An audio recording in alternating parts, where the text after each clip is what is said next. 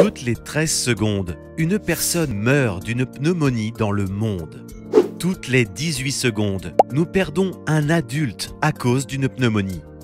Et toutes les 47 secondes, la pneumonie tue un enfant de moins de 5 ans. La pneumonie tue plus de personnes que toute autre maladie infectieuse dans le monde. 2,5 millions rien qu'en 2019.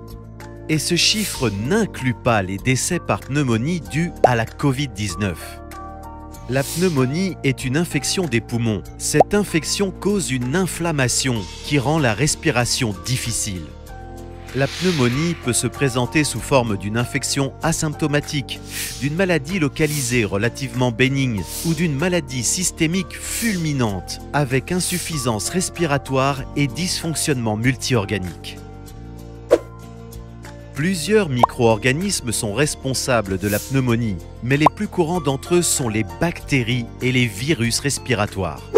Le virus respiratoire syncytial, Streptococcus pneumoniae, pneumococcus, coronavirus, les virus de la grippe, rhinovirus, métapneumovirus, Haemophilus influenzae, Klebsiella pneumoniae et Staphylococcus aureus. Ils peuvent tous provoquer une pneumonie. La pneumonie peut être classée selon la façon dont elle est acquise.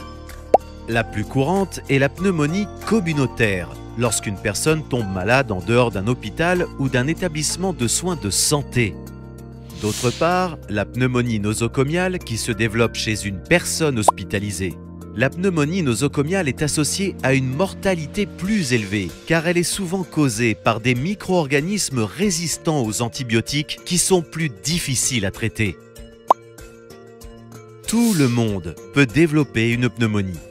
Le risque est plus élevé chez les personnes dont le système immunitaire est affaibli, notamment les enfants de moins de 5 ans, les adultes de plus de 70 ans, les personnes atteintes de maladies chroniques telles que la BPCO, le diabète et la maladie cardiovasculaire chronique.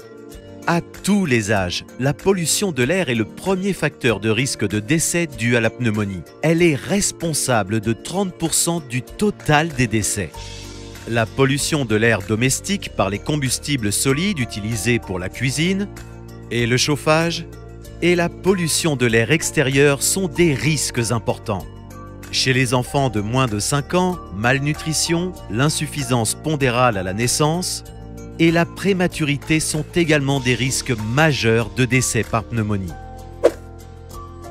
La pneumonie peut être détectée par des symptômes tels que essoufflement, douleur thoracique, toux productive, fièvre, transpiration et frissons, fatigue et confusion, en particulier chez les personnes âgées. La pneumonie peut être évitée.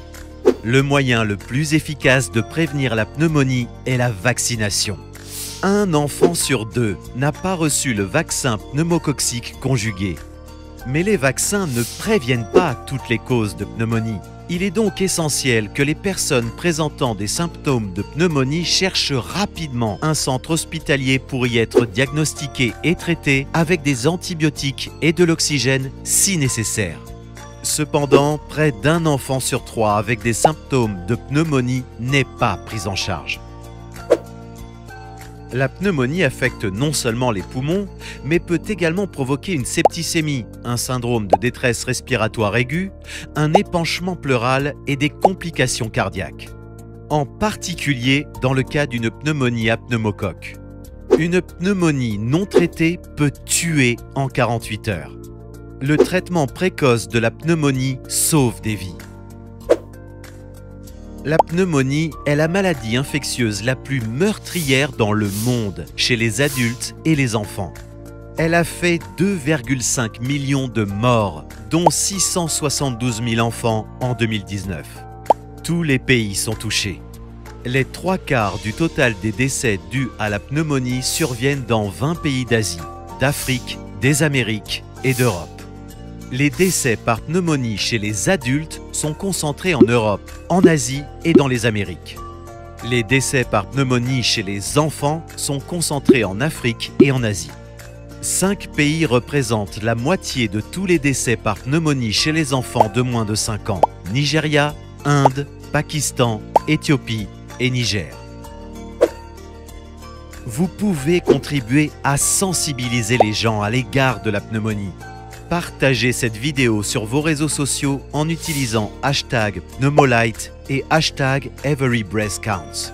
Parlez de la pneumonie à votre famille et à vos amis et participez à la journée mondiale de la pneumonie qui a lieu le 12 novembre de chaque année. Pendant que vous regardez cette vidéo, 15 adultes et 5 enfants vont mourir d'une pneumonie. Mais nous avons les outils pour prévenir la plupart de ces décès. Plus les gens seront informés sur la pneumonie, plus tout le monde en sera épargné. Arrêtez la pneumonie, sauvez des vies. Pour un monde meilleur, un nouveau monde. Pneumolite.